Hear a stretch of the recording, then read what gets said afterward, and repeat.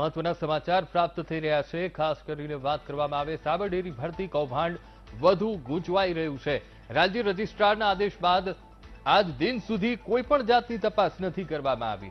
એકસો નેવ્યાસી ઉમેદવાર માટે બાવીસથી પચીસ લાખ સુધી ઉઘરાવવાનો દાવો થયો હતો. બાયડના ફરિયાદી કીર્તિ પટેલ પણ અત્યારે મૌન સેવી રહ્યા છે.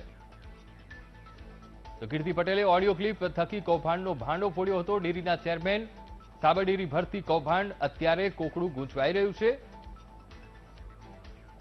તો આજ મુદ્દે સંવાદદાતા પરેશ દવે લાઈવ જોડાઈ ગયા છે. જી પરેશ સાબરડેરીનું કૌભાંડ ફરી એકવાર આ તેનું ભૂત ધૂણ્યું છે. ડેરીના ચેરમેન તથા કીર્તિ પટેલે જ ભાંડો પડ્યો હતો. અત્યારે કીર્તિ પટેલ જ મૌન સેવી રહ્યા છે. સાબરડેરી ભરતી કૌભાંડ અત્યારે વધુ ગૂંચવાઈ રહ્યું છે. અને ખાસ કરીને મહત્વની વાત એ છે પરેશ કે હજુ પણ કોઈ પણ જાતના પગલા નથી ભરાયા.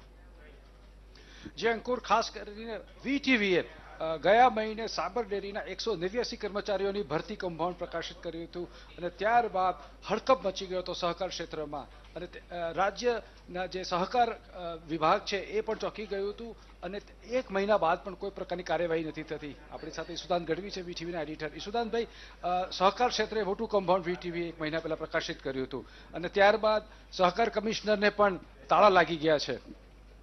બિલકુલ એક એક સમજાતું નથી કે સાબર ડેરીમાં આટલું મોટી ભરતી કૌભાંડ વીટીવીએ ખુલ્લું પાડ્યું. એક ઓડિયો ક્લિપ એમડીની ખુલ્લી પાડી. એમાં ભરતી અટકાવી દેવાની વાત આવી. પછી સાથે સાથે તપાસ કરવાની વાત આવી. અરે, આ ગુજરાતમાં શું મીડિયા જ બધું કરશે તો તંત્ર શું કામ બેઠું છે? સવાલ એ છે કે જે માણસોએ તપાસની ખાતરી આપી હતી, તપાસ કરાવવાની ખાતરી આપી હતી, એ ક્યાં ગયા? સાબર ડેરીના ચેરમેન સહિત લોકોની પૂછપરછ થઈ કે નહીં, ઈ ક્યાં ગઈ? સાથે સાથે ઓડિયો ક્લિપની તપાસ થઈ કે કેમ? એફએસએલમાં ગયું કે કેમ? બીજું કે જે વ્યક્તિઓ આપણે ત્યાં મહામંથનમાં આવ્યા હતા, એ લોકોનું મૌન પણ એક બહુ મોટી સમસ્યા સર્જે છે. જે વ્યક્તિઓ આ કૌભાંડ ખુલ્લું પાડ્યું એ લોકો પણ સાથ બેઠા છે. મારે સવાલ કરવું છે, કઈ રીતે આ ચાલશે? ગુજરાતને કોઈ બચાવનાર જ નથી. ગુજરાતમાં દરેક વસ્તુ તમે લૂંટતા લૂંટતા જ રહેશો? દરેક જગ્યાએ લૂંટતા રહેશો?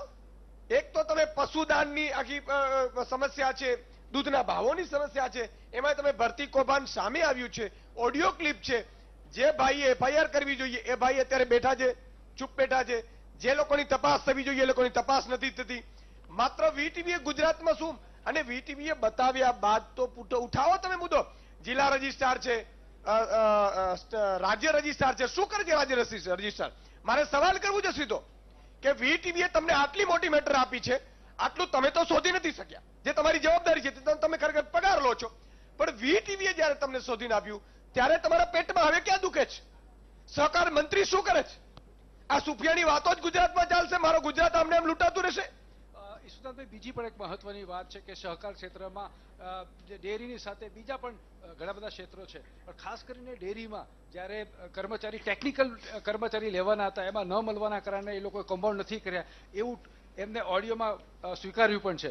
અને ખુલ્લે આમ દરેક ડિરેક્ટરને પાંચ પાંચ કર્મચારી, એટલે પચીસ પચીસ લાખ રૂપિયાની આખી વાત થઈ છે. છતાં પણ તંત્ર હજી પણ ઘોર નિંદ્રામાં. એટલું નહીં, આ ગુજરાતના તમામ નેતાઓને ખબર છે.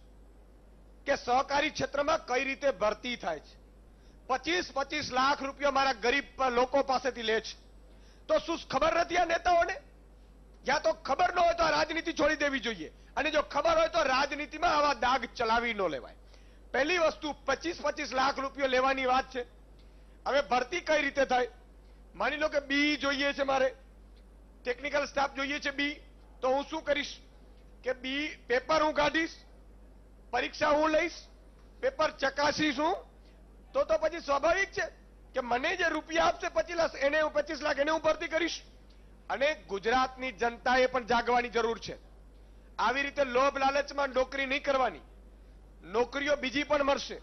પણ તમે બેમાનીથી નોકરી લીધેલી હશે, આજે નહીં તો કાલે તમારે એની સજા અથવા તો એની કિંમત ચૂકવવી પડશે. બીજો સવાલ એ છે, ગુજરાતની જનતા વતી આ નેતાઓને, અધિકારીઓને કે તમને ખબર છે ખુલ્લે આમ તમને રૂપિયા લેવાય છે? તો તમે ભરતી જીપીએસસી ને કેમ નથી સોંપી દેતા? ભરતી તો જીપીએસસી થ્રુ થવી જોઈએ. સહકારી ડેરીઓમાં જે ભરતીઓ થાય છે, એ ભરતીઓમાં શું થાય? કે કાયમી નોકરી છે. એટલે પેલો બિચારો બે વીઘા, પાંચ વીઘા જમીન હોય, તો એમાં તો કઈ વળવાનું નથી. એટલે પાંચ વીઘા જમીન વેચીને આ લોકોને પેટ ભરે છે, ભ્રષ્ટાચારીઓના. એટલે આ ક્યારેય નહીં ચલાવી લેવામાં આવે? જો સરકાર આની તપાસ નહીં કરે, સાબર ડેરીના એમડી સહિતની પૂછપરછ નહીં કરે તો મને લાગે છે કે વીટીવીએ વધુ ઊંડું ઉતરવું પડશે? આ એક ચેલેન્જ છે અમારા માટે પણ.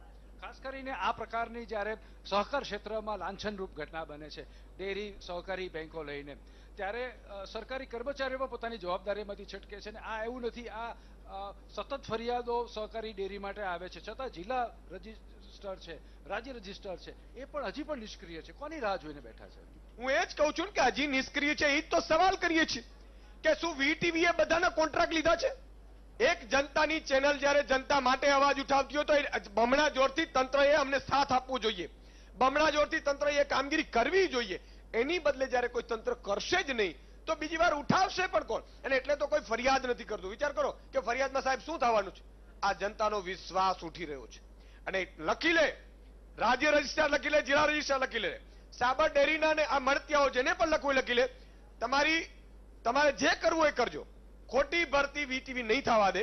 આજે નહીં તો કાલે તમારે પણ ખુલ્લું પડવું પડશે. ખાસ કરીને જે આ ડેરી છે એનો હજારો કરોડ પાંચ હજાર કરોડનો ધંધો છે તો આ તો ભરતીની વાત થઈ પણ દૂધની ગુણવત્તા અને દૂધના ઉત્પાદકો સામે ઉત્પાદન સામે પણ મોટા પ્રશ્નો ઊભા થાય. બિલકુલ આ તો તપાસનો વિષય છે.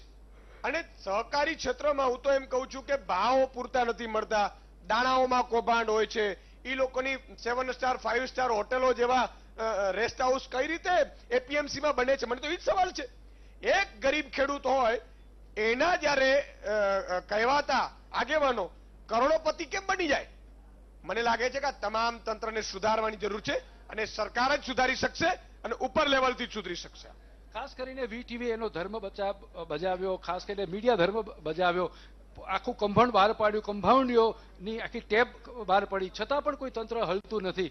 અને ખાસ કરીને વીટીવી દરરોજ એનું પોતાનું કર્મ કરે છે.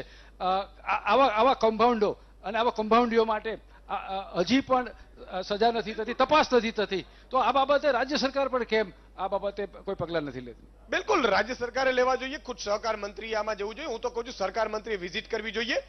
જે રાજ્ય રજિસ્ટ્રારને લઈને અને તુરંત એવી ભરતીઓ તો અટકાવી અને એની સામે એક્શન લેવા જોઈએ ને એમડી ને ચેરમેન ને બધાને ઉતારી દેવા જોઈએ. ખાસ કરીને આ જે સહકારી ક્ષેત્ર છે એમાં ભરતી કૌભાંડની જે પ્રક્રિયા છે અને જે પ્રકારના એની ગેરરીતિઓ છે એ સરકાર અને સહકાર વિભાગથી અજાણી નથી. ક્યારે જાગશે બહુ મોટો સવાલ છે. જી અંકુર. જી બિલકુલ પરેશ સમગ્ર માહિતી સાથે જોડાવા બદલ આપનો આભાર.